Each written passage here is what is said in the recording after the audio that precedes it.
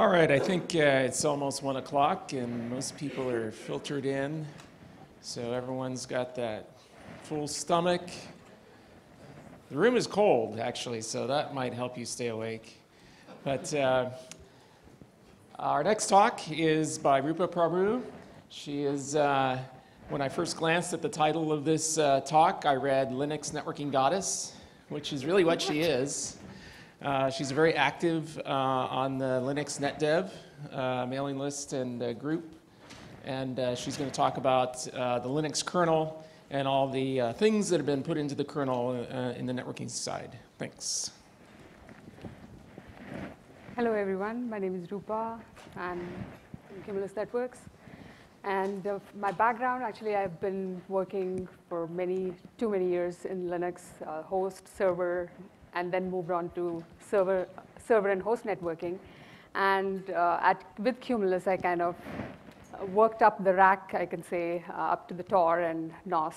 So these days, I'm just at Cumulus working on uh, Linux kernel and system infrastructure for uh, network networking. So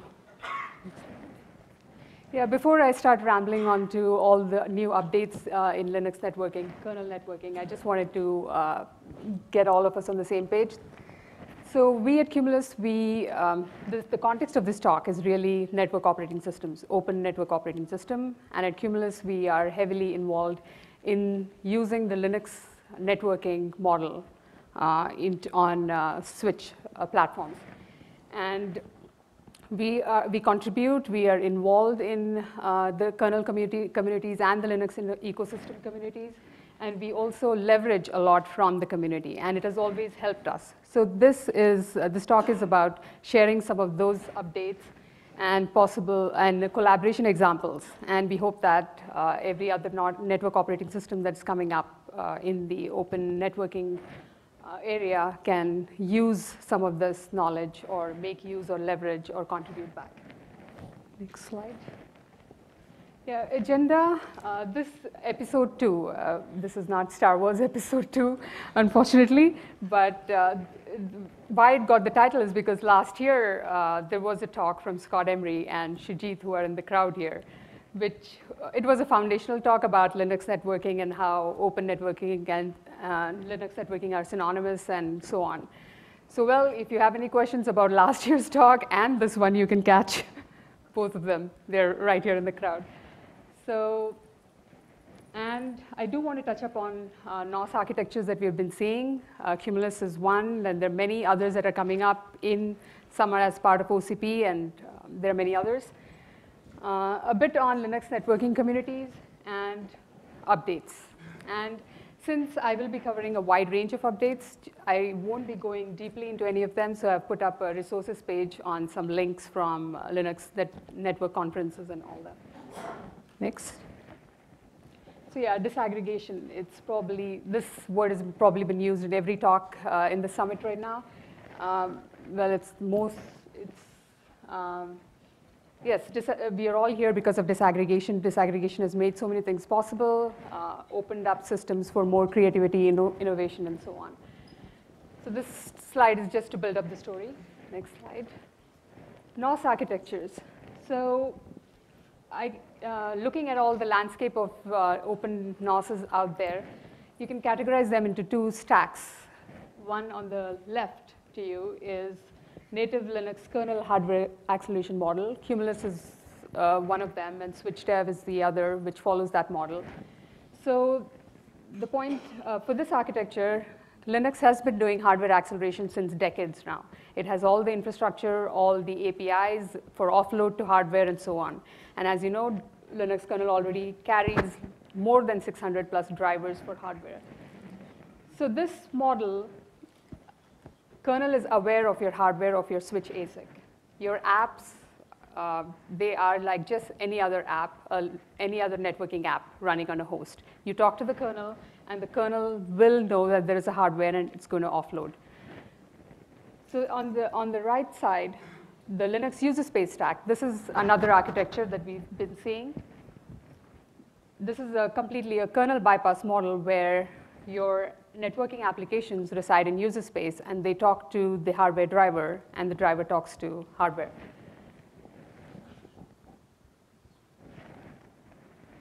So we've also heard a lot about, or we've been hearing a lot about disaggregated software stack. And this slide takes uh, that to a little, uh, the, the, the, other extreme. Basically, you can see uh, in the picture, you have applications running, the same applications running everywhere, the same networking applications. So the idea here is if you're using Linux natively, you have the ability to run your networking applications everywhere. They become portable. You're just using the Linux API, and uh, hence you can carry on, carry them on to servers or uh, switches. Obviously, this fosters collaboration between the server and the network OS community, and you deploy networking with the same uh, model. For example, you create, you configure VXLAN the same way you configure it on a NOS or on a server and obviously minimize operational problems. And for, all, for everybody who does software, package management is no joke. So yeah, uniform package management, wherever you go, whether you go on a NOS or a server. And uh, if you see, I've listed only two applications here, Quagga, the popular routing suite, and a simple application like LLDPD. Uh, with something like LLDPD, we have seen that we talk to one Linux maintainer who maintains that package for us for the NOS and who also uh, ships the same package on servers. And, and the other developments, for example, systemd. If you know systemd, Linux moved to a new init system, and all the systemd enhancements, we got them for free because just because we were using a already existing protocol implementation. A little bit on Linux networking communities. So like I said, Linux has been doing networking for decades, and there is a huge, vibrant community. It's called NetDev. And it's also uh, does, has been doing hardware offload since a very long time. And we also see a new, new Linux NOS uh, communities coming up. And we think that, so we, as uh, part of Cumulus, we are heavily involved in the Linux networking com community. And it has helped us and uh, with collaboration and helped us in um, leverage a lot of things. So we think that all Linux networking communities coming together can help have the same networking model across switches and servers and uh, promote disaggregated software stack some more. Yeah, the next few slides are just about updates.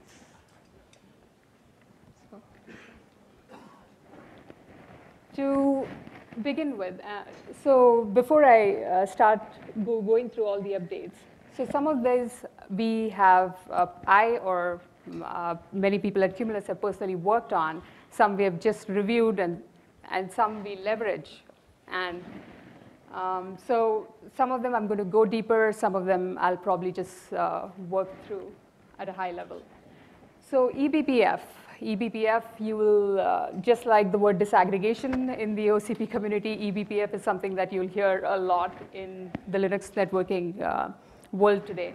And if you know BPF is the Berkeley packet filter where you attach uh, bytecode to socket filters for faster filtering. And TCP dump is a very popular uh, application using that. So one thing that uh, Linux people have been wanting from Linux is more programmability. And eBPF is an extension of that BPF, which has made that kind of possible. And there are a lot of creative ways people are using eBPF. So eBPF is an extended BPF, which has gotten more registers, wider registers, and you can do more things, more programmable things with the kernel. So certainly when this got in, I think uh, there are many people who have uh, gotten very creative about it, and there are hooks in almost every subsystem in the kernel today to actually programmatically attach uh, eBPF program to get uh, things done.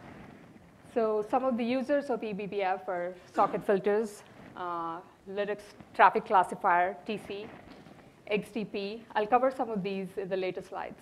And also offload some of these BPF programs to your NPU or switch ASICs.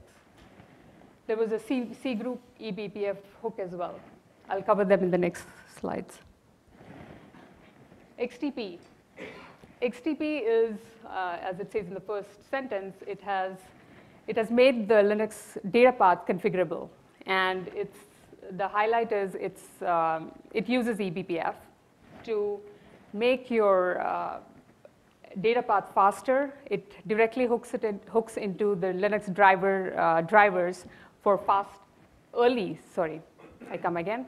So it uh, uses a hook or it leverages a hook at an early point in the driver to get the packet to your application if, if that is your use case, or doing simple things like uh, pre-stack processing for DOS mitigation, forwarding and load balancing and flow sampling and so on. The thing, the thing about this is it provides uh, user space applications that those want uh, faster uh, data path and also programmable data path. So TC, the Linux Traffic Classifier, has uh, received a lot of updates, actually from a lot of companies who are here right now at OCP. There was a Flower, Flower classifier by Mellanox, uh, which is a flow-based classifier. And uh, yet these days they're offload, it's also used in offloading flows to hardware. CLS BPF classifier is another uh, classifier which leverages the eBPF hook. You, it makes your classifier, packet classifier in the kernel, programmable. And sampling, sampling with uh, something like SFlow. Uh, there is a classifier for that as well. And one thing that made TC more popular, I guess, is uh, this or last year is the TC hardware offload API. So people are using it to offload flows to hardware, even OVS flows to hardware. So, and uh, I think there was another talk uh, at OCP as well about uh, using TC to offload to an NPU as well. And a bunch of NIC drivers are also um, implementing TC callbacks to offload uh, to hardware. eBPF hooks for control groups. This is another user of eBPF. Uh, C groups are, uh, if you know, they're control groups for resource accounting, monitoring, and so on. They're used by container orchestration tools, systemd, and many other uh, Linux system infrastructure tools. So C groups are available in every subsystem. There is a C group for every subsystem in the Linux kernel, and network subsystem also has a few. And the recent addition to C group uh, was and to make it more programmable. Basically, user space can attach uh, eBPF programs to C groups. So the use cases are network for network socket filtering and accounting for a process or a group of processes. So users, again, containers, NOS applications, and VRF. Uh, VRF is a virtual routing and forwarding, which is uh, function, a very important function on a network uh, OS or a network box. Uh, I'll talk about VRF application of C groups uh, in the upcoming slide. VRF. Um, so last year's the episode one talk actually covered a bit of VRFs, and Linux is VRF ready. So we uh, did contribute to uh, the VRF implementation to Linux, and there has been, the last year was a lot of bug fixes and a lot of other use cases covering a lot of use cases and so on. The other thing was getting the Linux ecosystem or the process subsystem and systemd and so on, VRF awareness. So VRF is basically a L3 domain or a routing instance for an application. And sometimes these applications uh, are VRF aware. That is, they know what they want to bound, bind to. For example, Quagga, a routing daemon, has to know what routing instances it has to manage or it has to connect to. But there are also applications which uh, the system admin wants to enforce a particular L3 domain on. And so that IP VRF exec on the third point here was something uh, that uses the uh, previous C group hooks uh, eBPF hooks. So uh, if a system admin, uh, this is an application that eBPF program that a system admin can write, and Cumulus will probably ship in, their, in our OS, which in a shell, the system admin could set uh, the hook in a, uh, the eBPF hook in a shell, and all processes from there on are bound or isolated to that L3 domain. So this was a good example of collaboration with the network uh, uh, kernel networking community as well. So we had a C group implementation, a separate C group for VRF, and then we saw this whole eBPF wave, and uh, somebody got this uh, nice infrastructure for eBPF for C groups, and we were able to leverage that uh, very quickly for VRFs. And we have spent some time making VRFs easier to use on Linux. IP Route 2 updates, and the ifupdown2 uh, interface manager, which is already in Debian, that kind of automates some of the uh, L3 domain VRF table management uh, aspects. And in the last uh, Linux networking conference, uh, the maintainer David Ahern, he also uh, showed how VRFs could be used to isolate uh, container, L3 for containers. There's a paper which I've linked uh, to the slide. So this is again an example of collaboration between the host networking and the uh, NOS networking side of things. Lightweight tunnels. Lightweight tunnels was also covered, I think, in episode one. Um, I bring that up here again because it covers a bit of last next slide as well.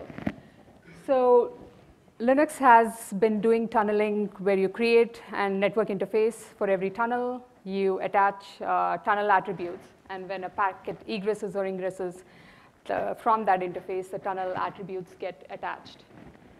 So well, we soon realized that to, for today's scale, with the tunnel endpoints that we uh, deploy on servers, on hypervisors, or on NOSes, that was not going to scale for something like MPLS tunnels or VXLAN tunnels. So lightweight tunnels is basically a way to create tunnels without the network interface uh, that Linux traditionally has, always has had. So the users for this is VXLAN, ILA, MPLS, and segment routing, IP, IPv6 segment routing also uses this.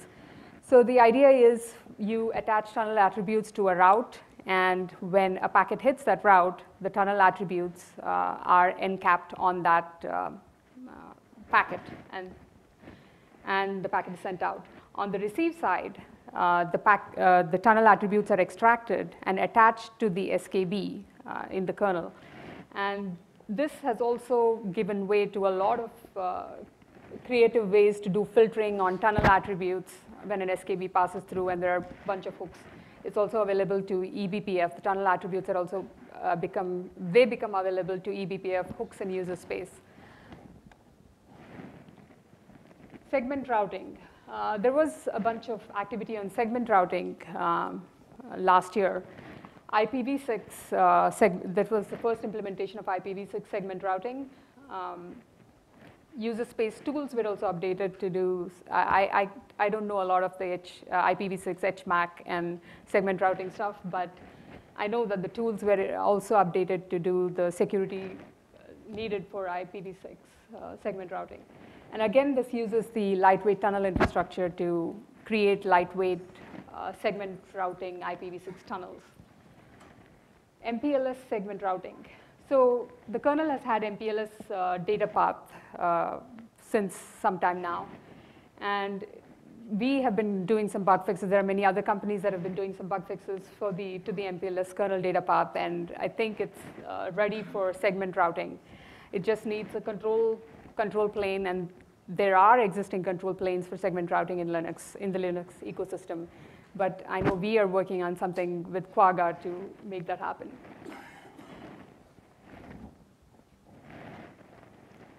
Scaling VXLAN. I have this here again to show an example of collaboration between the host networking and the NOS operating system communities. So uh, VXLAN, uh, like I said, suddenly uh, VXLAN endpoints on a hypervisor and NOS, they can scale to large numbers.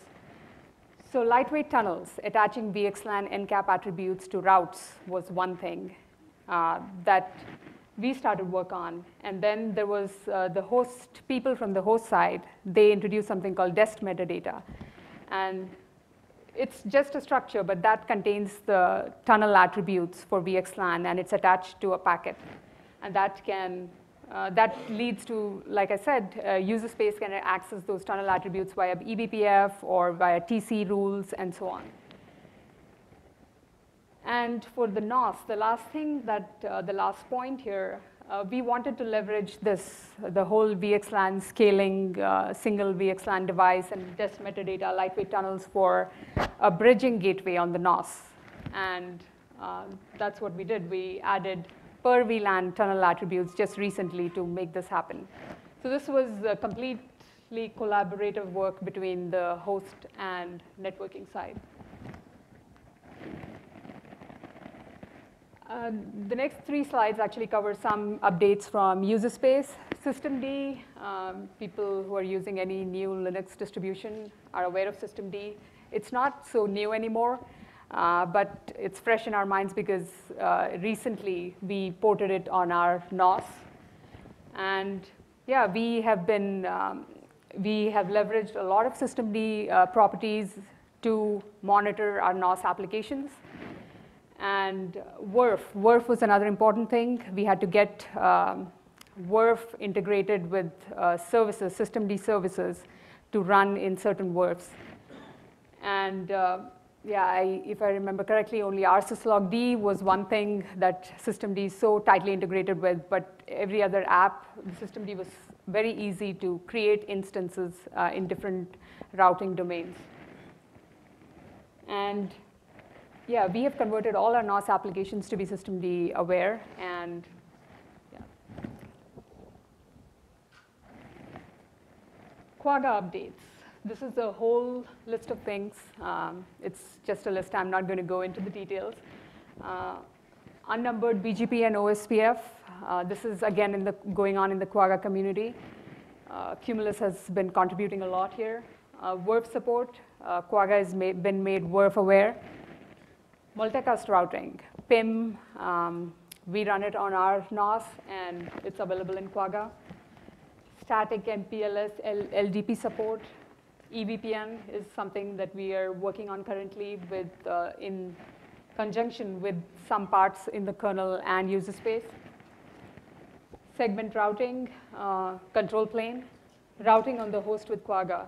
So we, like I said in the previous uh, slide on disaggregation, we have shown, uh, or we actually also support running our Quagga on uh, host environments, the same version of Quagga on host and our NOS. SFlow.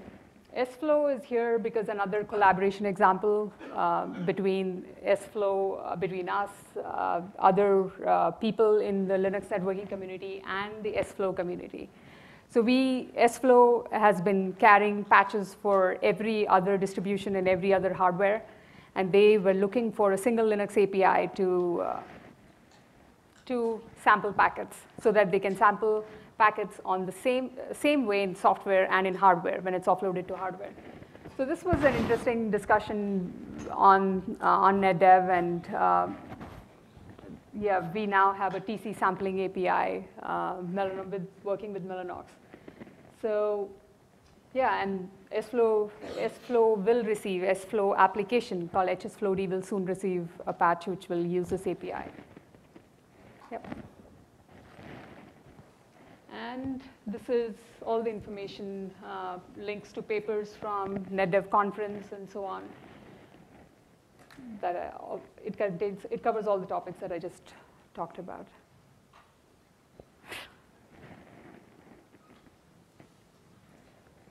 Any questions? Yes. Hi, uh, two questions. One, is it Quagga or FRR your patches are going to?